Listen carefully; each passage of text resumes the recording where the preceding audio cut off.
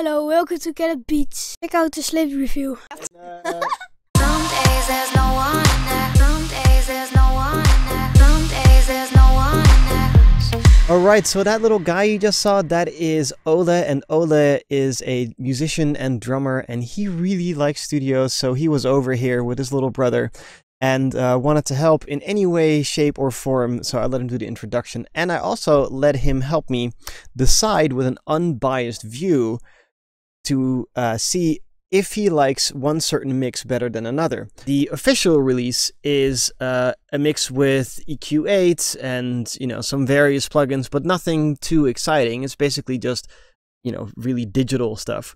And then uh, the Slate mix is well analog modeled, sexy analog stuff.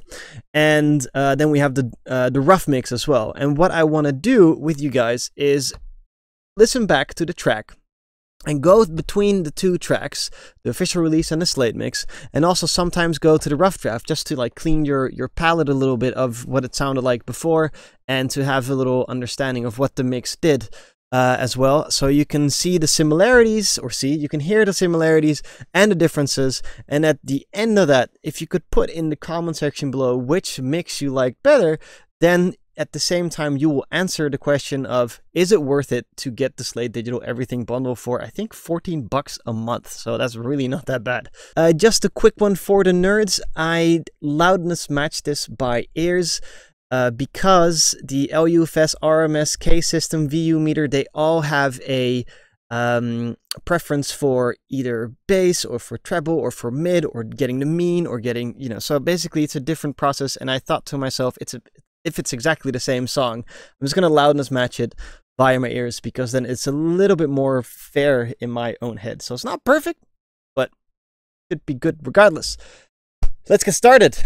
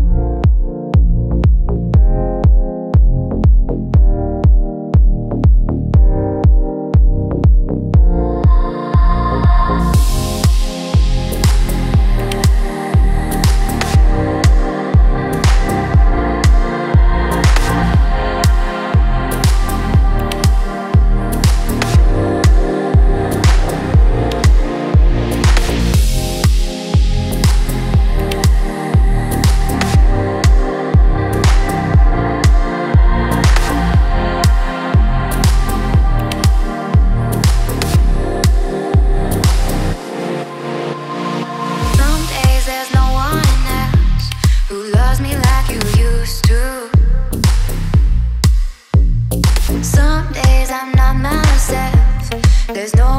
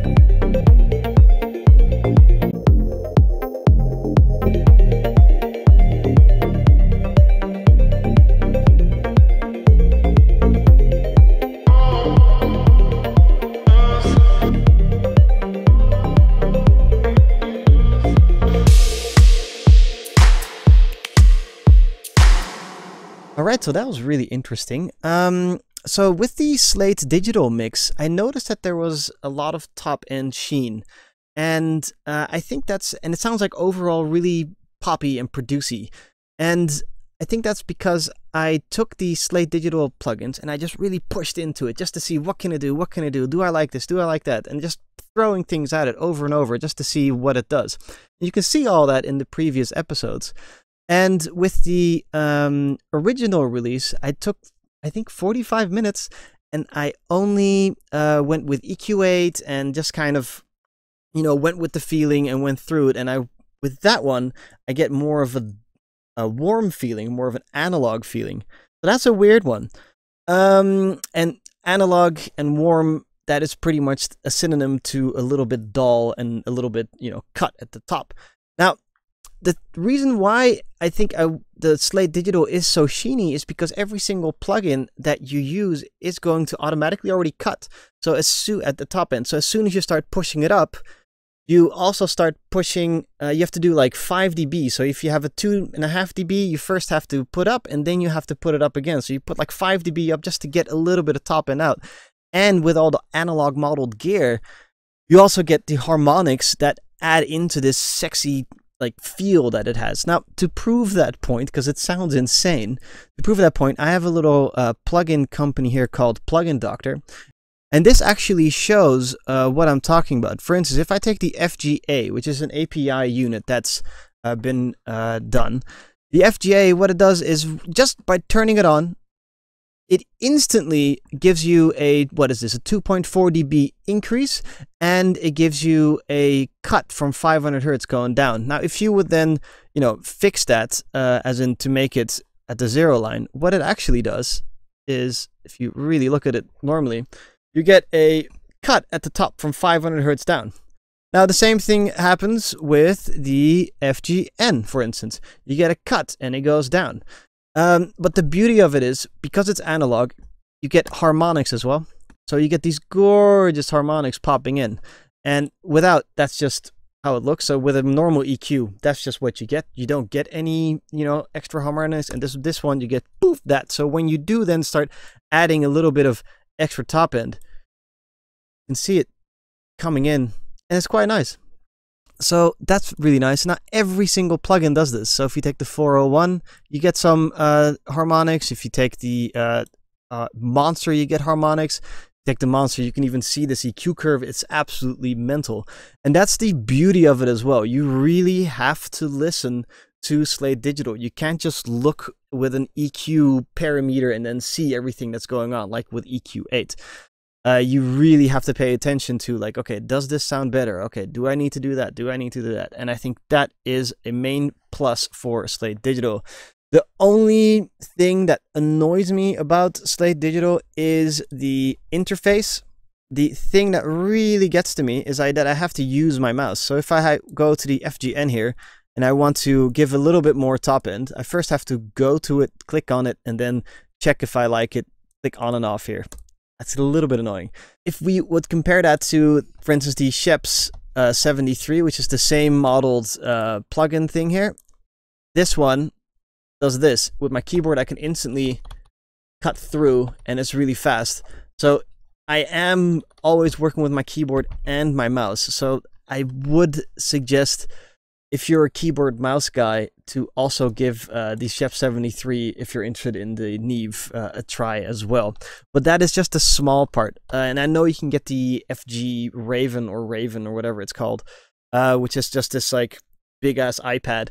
But I'm not into touching screens. I want my keyboards to just, you know, work with the buttons um, on the screen. Or if it could be in any way possible, give a different GU, uh, GUI like uh, like this, because this would be absolutely made. Imagine getting the Neve sound, but you have the FabFilter uh, GUI where you can just instantly, you know, change cues and things like that. That would be that would be good. All right, so that is it. Overall, the virtual mix rack or, or the uh, plugin company Slate Digital, I definitely suggest you check it out. It's only $14.99 a month, if I'm not mistaken. The sound out of it is great. I will want to do a shootout between other uh, plugin companies to see if I would mix the same way, yes or no, if I would, you know, use analog shape gear, but I do really like it. I do like how it came out. I don't really suggest it for uh, mastering per se because that FGX just just does the way too much uh, in one go. Uh, but I do for uh, mixing and flavors and harmonics. It's really nice. It's just it's just good. So anyway, I hope you've enjoyed today's episode. I'll see you guys again soon. Make sure to subscribe and like and comment. And um, yeah, don't forget to say hi to Ola. All right, peace out. Bye.